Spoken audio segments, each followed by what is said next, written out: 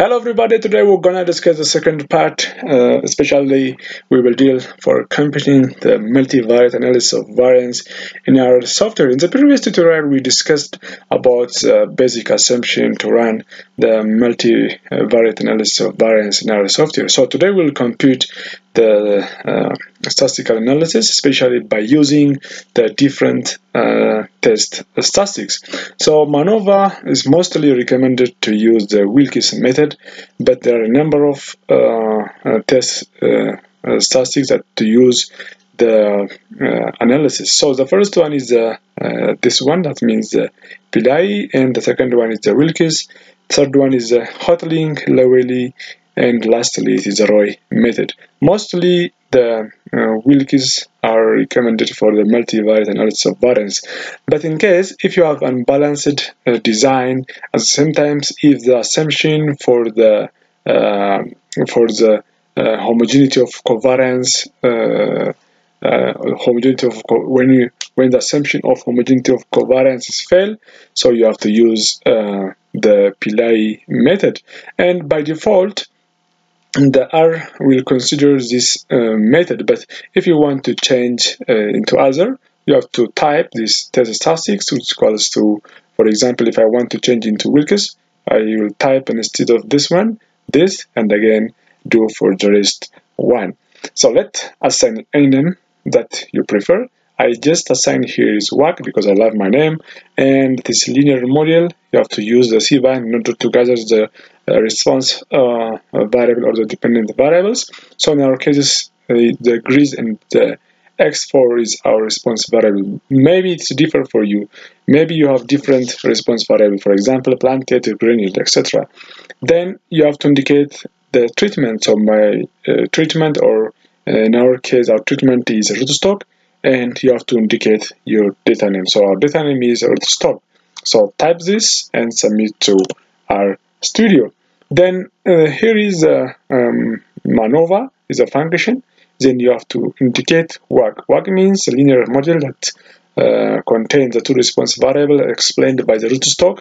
Then uh, the test statistics I used here is uh, Pillai. By default, I will consider even uh, no need to write this uh, test statistics. So uh, in order to get the play but I uh, I just uh, show you in order if you want to convert or if you want to change into other test statistics method. For example if you want to convert into Wilks you have to type here is Wilks or Roy or, or Hotelling in this way. So uh, by this way we can do. Let's see our MANOVA result Yes, our MANOVA result for the rootstock, well, we have degree of freedom is 5 and the F, the approximate F value is 1.57 with a numerator degree of freedom 10 and with denominator degree of freedom 84. Quite unfortunate, there is no statistically significant difference in the uh, root stocks. Uh, if you remember, we have 6 root stocks, so there is no statistical difference for the stock, especially for the two parameters, that means the grid and the X uh, parameters. So if your MANOVA is non-significant, no need to go, no need to go a mean separation technique or uh, we are we have to stop here because we get non-significant result. But in case if you have significant result, I will show you how to do the post hoc test. Again, also we will uh, I will show you the uh, pairwise uh, comparison. And MANOVA is governed by a number of rules. For example, when the assumption of normality and homogeneity of variance is violated, sorry, when the assumption of normality and variance is uh, met, you have to use the post hoc test, the ANOVA underscore test. But when the assumption of homogeneity of variance, especially when we when you get the um, significant Levene test, so you have to use the Welch ANOVA test. But uh, in total, if you get uh, if all assumptions are violated, so you have to shift from a parametric model to a non-parametric model. So in order to do that, you have to use the Kruskal Wallis or the Kruskal underscore test method. So these are some uh, key rules that you have to follow. so assume that uh, uh, our assume that I will show you into in different methods. So assign anything that you want here. I assigned here in the form of x then root rootstock is our data and this is the pipe which is connected to our data and we gather key to a variable value to a value and you have to indicate here is your dependent variable response variables. And again you have to connect group y is equals to variable so type this and submit to RStudio. Then we will go for uh, analysis. For example we, we, we will use Welch test when the assumption of homogeneity of variance is violated. That means if you get significant Levene test, you have to use uh, this one.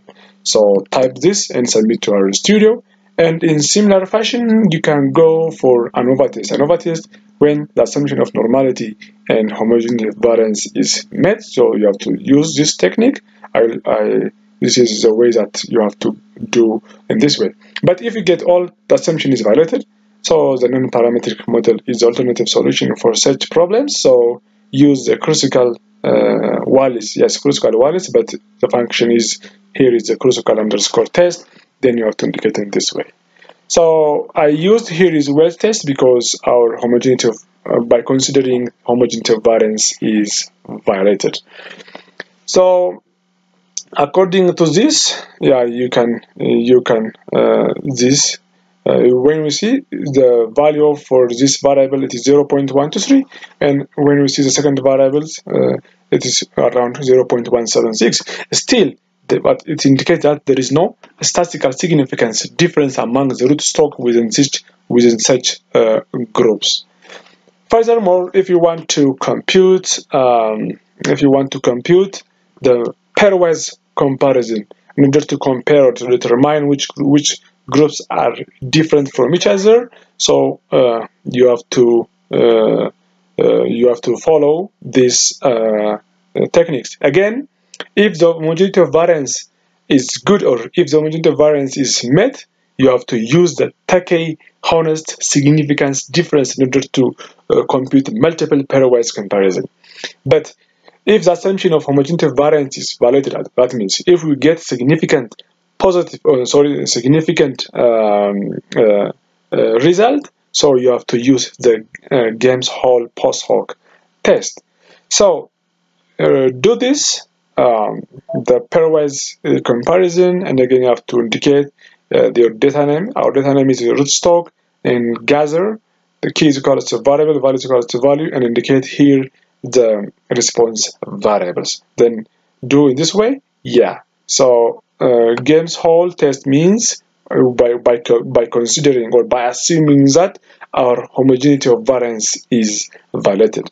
So uh, if you discard these things, for example, estimate the, conf the confidence low or confidence high, in order to remove such details, you have to use this minus sign. Minus sign by default will uh, deduce or will uh, omit or will remove uh, this content. So type this and submit to RStudio. So let's see their pairwise, comparison.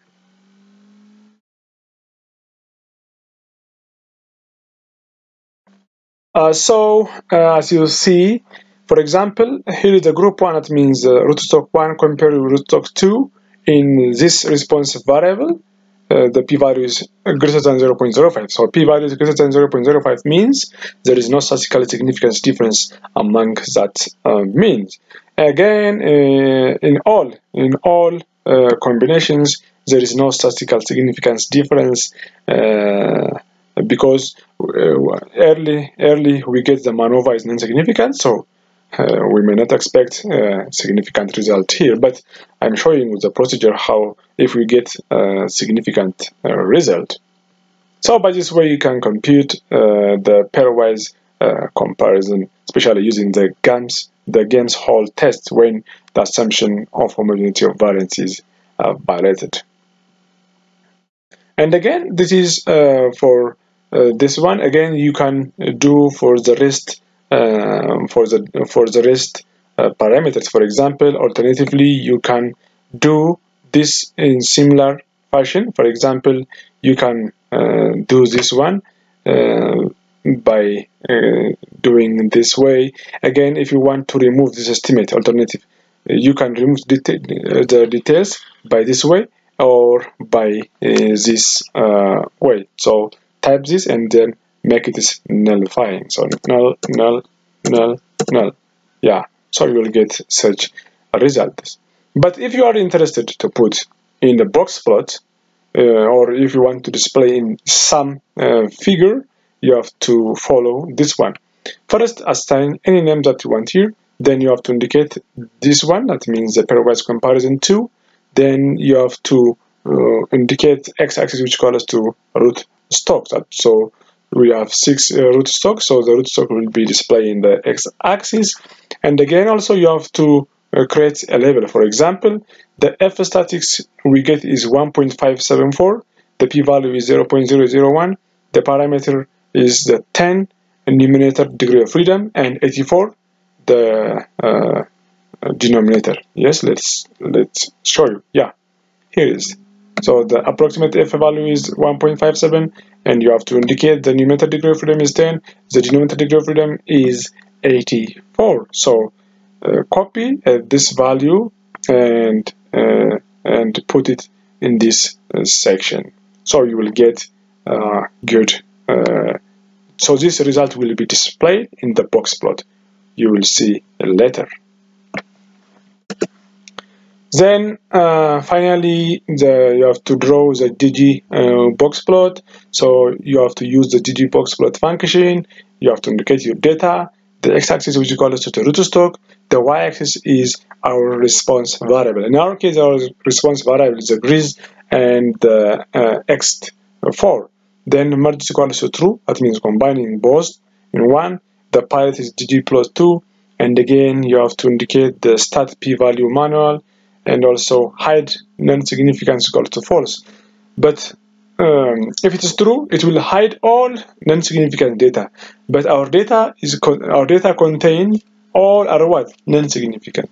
So uh, when we type hide hide dot ns is equal to true, it will hide the non-significant. But it is false, so it display the non-significant result too.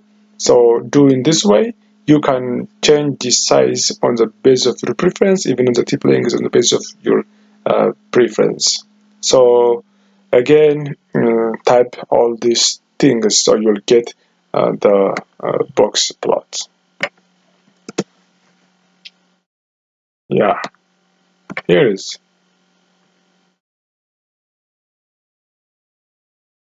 So all are non-significant because the MANOVA result is non-significant. So even the numerator degree of freedom and the denominator degree of freedom is displayed, the F value is displayed, the P value is displayed. And the one with red is the grease, and the one with uh, other color is the exit 4.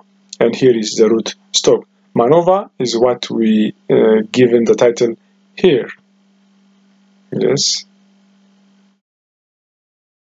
Yeah, you can change any name that you prefer, or MANEVA or multivariate analysis of variance. So this is all about today's uh, tutorial, and I will come up with a factorial MANOVA analysis in upcoming uh, videos. Until then, if you have any question regarding to my tutorial, you can address me through my email, workjrasasama@gmail.com, or alternatively, you can use the YouTube uh, comment box. Thank you for watching. Have a nice time.